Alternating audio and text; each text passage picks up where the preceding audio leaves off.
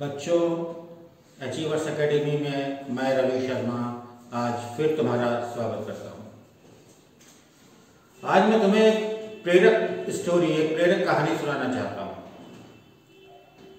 प्राचीन काल से चली आ रही तमाम उक्तियाँ और मुहावरे तुम सुनते हो, लेकिन उन पर ध्यान नहीं देते। लेकिन ये कितने महत्वपूर्ण होते हैं और हमारे ऋषि मुनियों ने इन्हें कितना सोच विचार कर बनाया था। ये तुम्हें इस कहानी के माध्यम से पता चलेगा।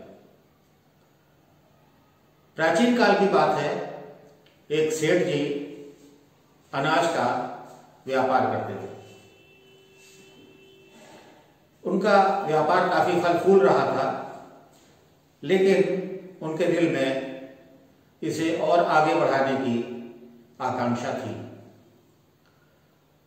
तो जो अनाज ट्रेन के माध्यम से, मालगाड़ियों के माध्यम से आता था,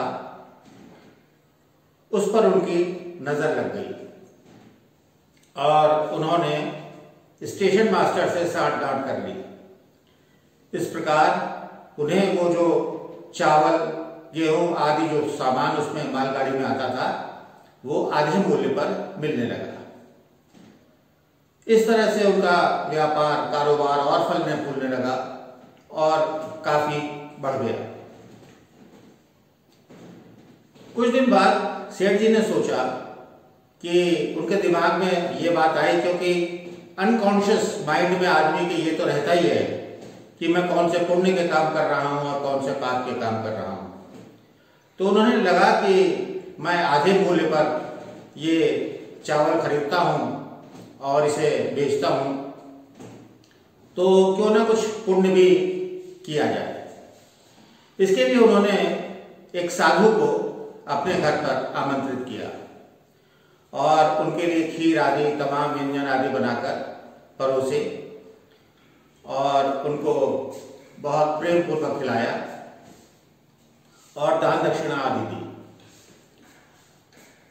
इसके बाद साधु महोदय वहीं सो गए और सेठ जी अपने कमरे में चले गए। साधु जब उठे तो उन्होंने देखा कि अलमारी में कुछ रुपए की गड्डियाँ रखी हुई हैं। साधु तो साधु होते हैं, लेकिन न जाने क्यों उनके दिल में लालच आ गया और उन्होंने एक गड्डी उठाकर अपनी पोटली में डाल ली। ये सोचते हुए कि सेठ को एक पैकेट का क्या पता लगेगा? इसके बाद शाम को वो साधु महोदय अपने गंतव्य की ओर रवाना हो गए। अगले दिन सुबह सेठ जी ने जब रुपए देखे तो उन्हें पता लग गया कि इसमें से एक गड्डी कम है। लेकिन वो ये कैसे सोच सकते थे कि साधु इसको ले गए होंगे? उनका शक अपने नौकरों पर गया। और उन्होंने नौकरों को एक एक को बुलाकर उसे पूछताछ शुरू करी। जब नहीं पता लगा, किसी ने सबने कहा कि साहब, हमने नहीं लिया है तो उन्होंने उनकी पिटाई शुरू कर दी। इसके बाद तब भी नोटों के बारे में नहीं पता लगा। और अगले दिन जब खिन्न भाव से सेठ बैठे हुए थे, तभी उन्हें वही साधु आते हुए दिखाई पड़े। साधु ने पास आकर वो गड्डी निकाली और सेठ महोदय को दे दी। सेठ जी एकदम आश्चर्यचकित हो गए और बोले, महात्मन, आपने, आपके पास ये गड्डी कैसे आई?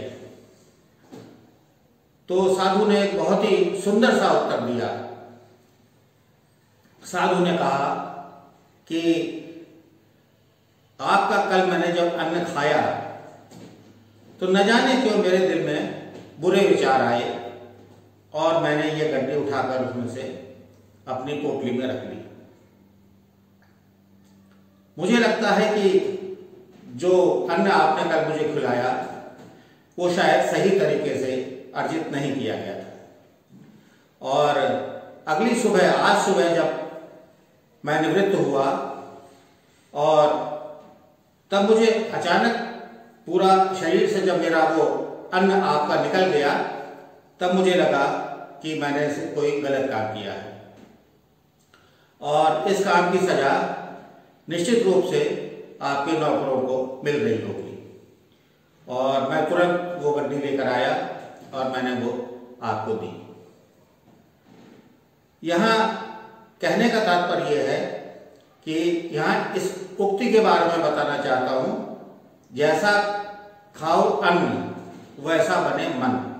ये उक्ति हमारे बहुत लंबे समय से चली आ रही है, लेकिन हम लोग कभी इस पर ध्यान नहीं देते। लेकिन इसमें बहुत बड़ी सच्चाई छिपी हुई है। हम जिस प्रकार का भी भोजन ग्रहण करते हैं, उसी प्रकार की हमारी प्रवृत्ति, हमारी मानसिकता बनती है। इसीलिए ये भी कहा गया है कि हमारे शास्त्रों में एक तामसिक प्रवृत्ति होती है, एक सात्विक प्रवृत्ति होती है। तामसिक प्रवृत्ति यानी कि हम बुरे अन्न ग्रहण करते हैं तो हमारे दिल में बुरे विचार आते हैं। उसी प्रकार हम सात्विक आहार ग्रहण करते हैं तो हमारे हृदय में अच्छे विचार आते हैं। और ये भी कहा गया है, जैसा पियो पानी, वैसी बने वाणी। यानी कि हम जैसा जल ग्रहण करते हैं, हमारी वाणी भी, वाणी में भी उसी प्रकार की मिठास आती है। तो मुझे उम्मीद है बच्चों कि तुम इस कहानी से ज़रूर कोई ना कोई प्रेरणा लोगे और इसको अपने जीवन में उतारोगे। धन्यवाद।